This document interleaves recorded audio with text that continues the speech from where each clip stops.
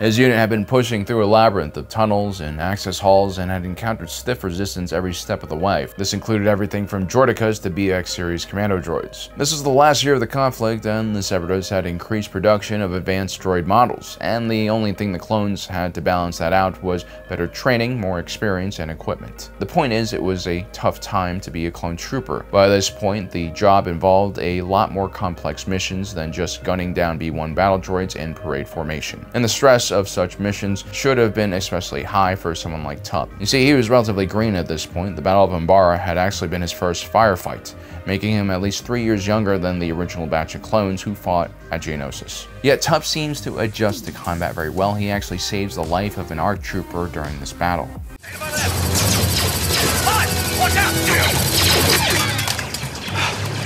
Thanks, brother. Now, during this moment, Tup is clearly more aware of his surroundings than even a seasoned veteran like Fives. But then suddenly he begins to experience an abrupt change to his cognitive functions. Hey, you alright? Yeah. I, I just... Come on, this is a textbook battle. We've run through this a million times before in training. Yeah, I, I know. I, I just... I, I don't feel like myself. This is the first sign of Tup feeling the effects of the inhibitor chip that was secretly implanted into his brain by the Sith many years earlier. Every clone had one, and it had one true purpose, and that was to force the clones to shoot their Jedi commanders. Follow me. Jedi. Tup, what's the matter with you? Uh, uh nothing. I I'm fine. And for some reason that day, Tup's inhibitor chip fired off early, causing him to execute Jedi General Tiplar in the middle of a firefight. What I want to know is what happened to Tup. He was a relatively healthy and very capable, some might say exceptional clone trooper. Why did his chip malfunction when millions of other chips seemed to work perfectly fine?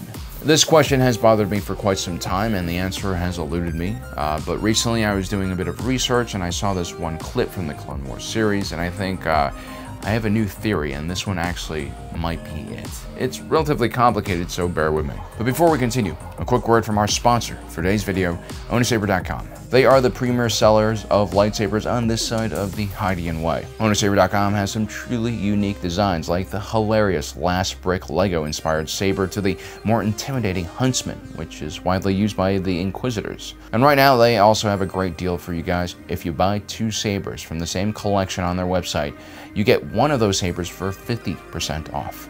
For instance, you can grab the Wraithbearer from the Padawan collection and pair it with the Assassin X, also from the Padawan collection. Once you add both of these sabers to the cart, the savings will be applied at checkout. Now, if you guys want just one lightsaber, the entire store is still 30% off with free shipping. For more information on this deal, check out the description down below. Also, you guys can use our promo code EWOK, that's all caps, for $15 off. I really recommend you guys check out Ownasaber.com. They really have some awesome products. Thank you for your patience. On to the rest of the video. So first, how do these inhibitor chips work? Well, these are organic chips designed to fit into the anatomy of a clone trooper without drawing too much suspicion from medtechs. As a matter of fact, it takes an atomic level brain scan to detect the chip, which just is not a normal everyday procedure you would perform on a clone. This organic chip also integrates into the clone's tissue without too much of a problem. It's designed to be hidden. Now, how does this chip work? Well, in order to understand that, we have to listen to Chief Kaminoan scientist Nala Se. She says the following. How do you explain this? That is a structural inhibitor chip, which is supposed to prevent you from being aggressive, like your source, Django Fett.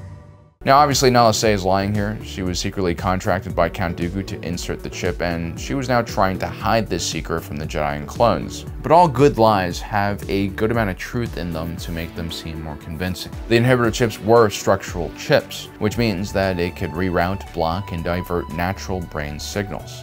The Kaminoans were masters at their craft, and they had perfected it during a climate catastrophe that almost destroyed their entire species.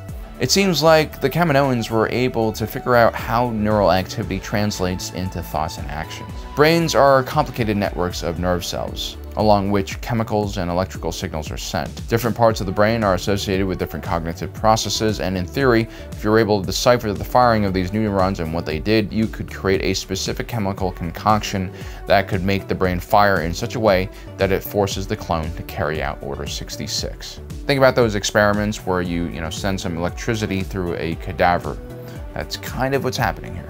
Well, actually, not really. What the Kaminoans are doing here is like a million times more complicated and probably belongs in the realm of science fiction for now.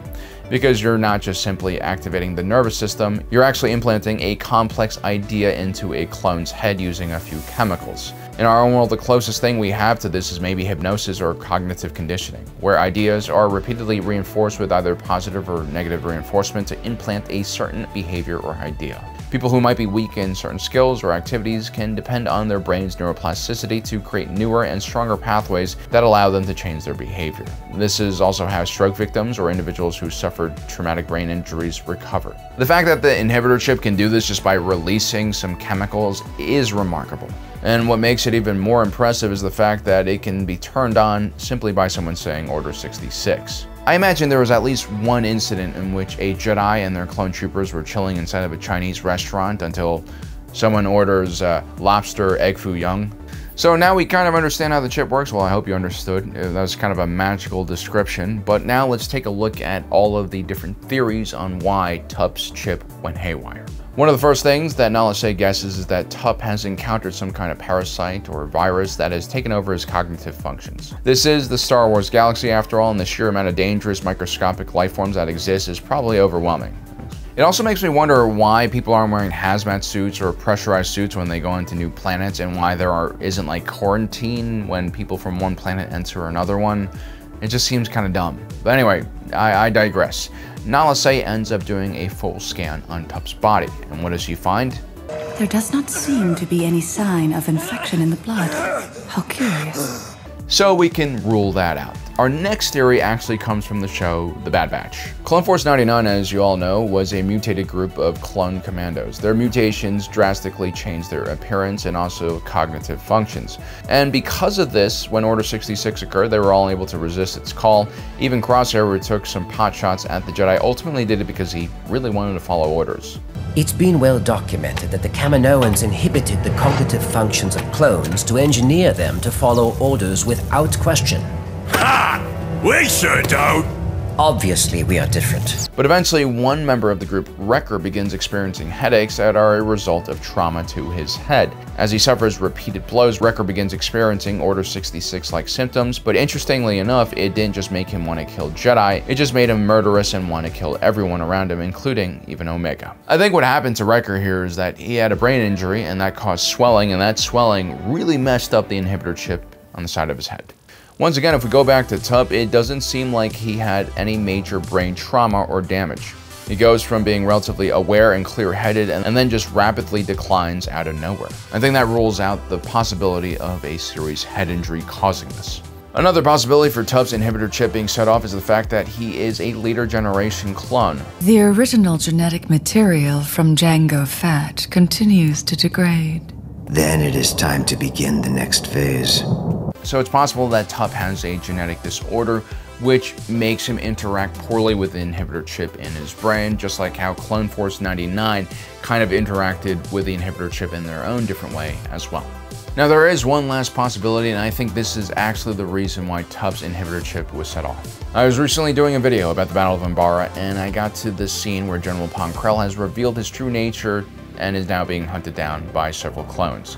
Clone Trooper Tup was one of the many of the 501st who joined in this chase. Even though it was his first real battle, Tup had been thrown into some truly challenging combat situations because of Pong Krell's poor leadership.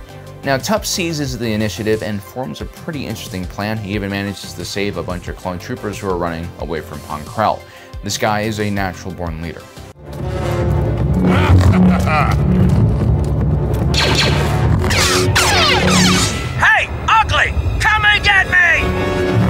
You see, Tup earlier on the campaign had witnessed just how dangerous the local flora could be and set a trap for the eager Jedi, who gets snared up by a carnivorous viscous plant. Pong Krell manages to figure out a way to escape the plant, but is then immediately stunned by Tup. The fact that Tup, a rookie, was able to trap such a powerful Jedi all by himself is extremely impressive. But like every other trooper on Umbara, Tup was in shock. They had been conditioned and trained to believe that their Jedi officers was someone who was looking out for them, and someone they could trust. Firing a stun round into Pong Krell went against Tup's training, and this most likely had an effect on his brain chemistry. So we talked about how inhibitor chips worked and how they condition the brain to repeat a specific neural pathway, which leads to a specific behavior.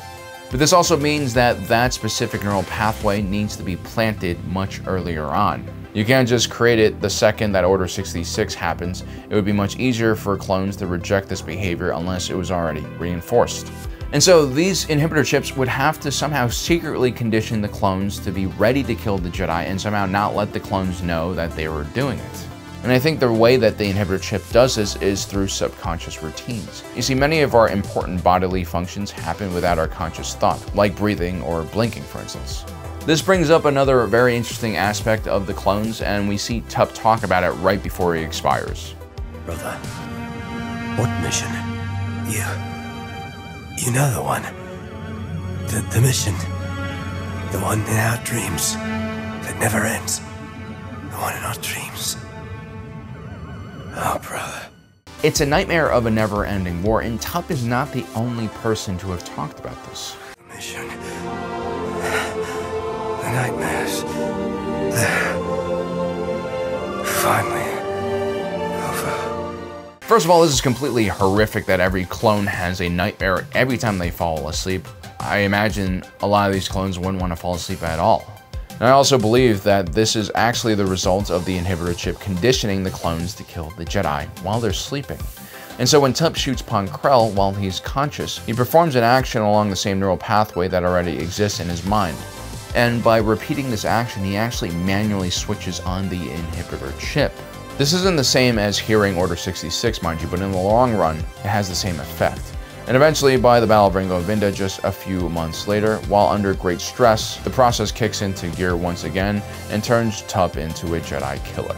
Out of all the theories that exist about Tup, this one actually makes the most sense to me. And, you know, by going through Tup's career, it's actually kind of sad. He was a very competent clone. I think he would have had a really terrific career within the clone army, you know, if it didn't collapse within like the next few months or so. Well, let me know in the comment section below what you guys think about my theory. Which one do you think is correct? Do you believe that the one I chose is the right one?